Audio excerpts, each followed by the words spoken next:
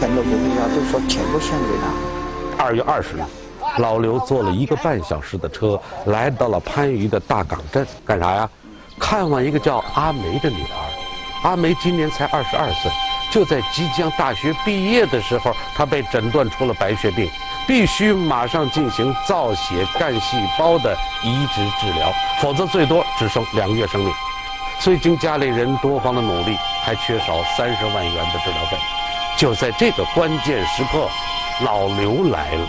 我就觉得父母养我这么大了，然后我现在自己又这样子，没，我建议你自己要放开心态，真的，因为你本身那个癌细胞和你那个体力的正常细胞在打仗，你首先第一个要放开心态，不，你也这么大了，不要给父母太大的压力。嗯，你自己要开心，一定要开心。